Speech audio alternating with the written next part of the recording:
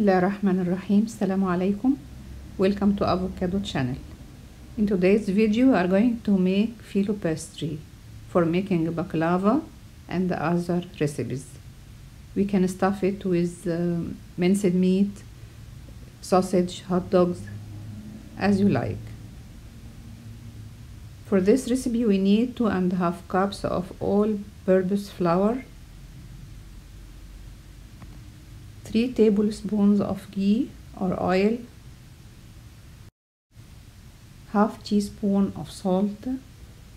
Mix until becomes like sand or sandy texture. In the next step we are going to use the kneading hook. Add 1 tablespoon of honey or syrup or powder sugar then add 1 cup warm water. You can use more or less water depends on the kind of flour knead until becomes soft dough that doesn't stick to your hands. Then cover and let rest for about 30 minutes.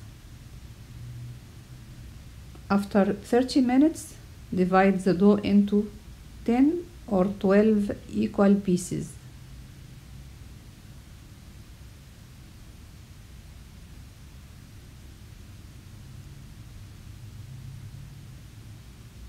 Now make each piece into a soft ball with your hands on the counter with the help of your thumb or between your hands also with the help of your thumb till becomes soft ball.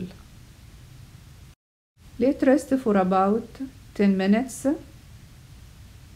then with uh, the help of cornstarch make each ball into a small circle.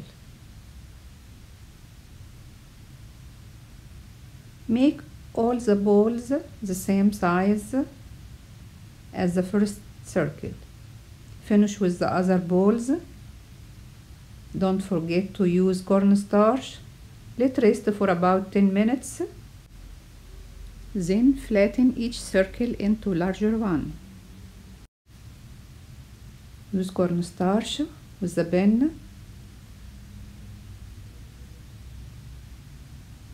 Try to make all the circles the same size.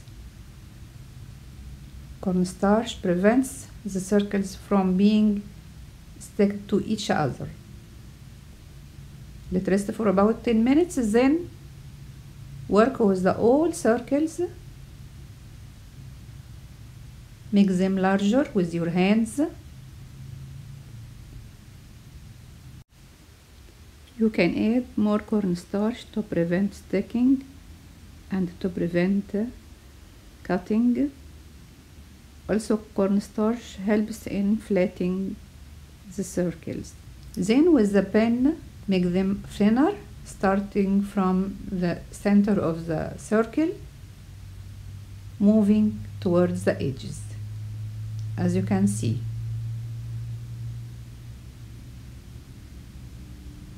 Try to make them thin. The more they are thin the more you get good result. Now the filo pastry is ready. As you see thin and soft.